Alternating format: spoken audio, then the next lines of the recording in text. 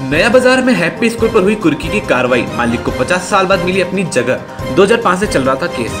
कई सालों से नया बाज़ार में चल रही हैप्पी स्कूल पर आज ताला लग गया है। सूचना के अनुसार स्कूल संचालक ने यह जगह हड़पी हुई थी। मालिक ने 2005 में अपनी ज़मीन को वापस लेने के लिए केस फ़ाइल किया था जिसके तहत कुर्की कार्रवाई होते हुए मालिक को अपनी जगह वापस मिल गई। सूचना अनुसार स्कूल संचालक पर तीन लाख रुपए का किराया भी बकाया है।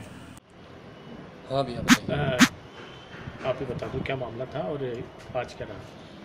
ये हमारे बहुत वर्षों से कब, सब किराए पे जगह लगी हुई थी चालीस पचास साल से और सब लोगों ने कब्जा कर रखा था हमको दे नहीं देते जगह वापस। हमारे दादाजी डेथ होने बाद में इनसे बोला हम लोगों ने कि हमको दे दी जाए तो सबने इनकार कर दिया।